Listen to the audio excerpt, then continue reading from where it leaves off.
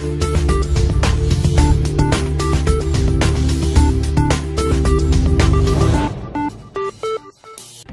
हस्पताल साहिवाल में अपरस की बीमारी से बचाव और एहतियाती तदाबीर के हवाले से आगाही सेमिनार और वॉक का अहतमाम किया गया, जिसमें डॉक्टर और पैरामेडिकल स्टाफ ने भरपूर शिरकत की। अप्रस चंबल की बीमारी से बचाव और उसके इलाज के हवाले से क्यूम अस्पताल साहिवाल में सेमिनार और आगाही वॉक का अहतमाम किया गया। तकरीब के मेहमान खसूसी principal medical college doctor Imran Hasan Khan थे। तकरीब में एम एस डी एच के डॉक्टर मुश्ताक सिपरट डॉक्टर अख्तर महबूब, डॉक्टर निसार अहमद और दीगरान ने शिरकत की। प्रिंसिपल मेडिकल कॉलेज का कहना था कि अप्रस चंबल एक ऐसी बीमारी है जिसके साथ मरीजों को ज़िंदगी भर उसके साथ गुजारनी पड़ती है। मगर इस सिलसिला में उनको आगाही की ज़रूरत है कि आप इस बीमारी के साथ एक अच्छी ज़िंदगी गुजार सकते हैं। हैं। इसको ख़त्म नहीं किया जा सकता, मगर इसके इलाज से इसको कंट्रोल ज़रूर किया जा सकता है।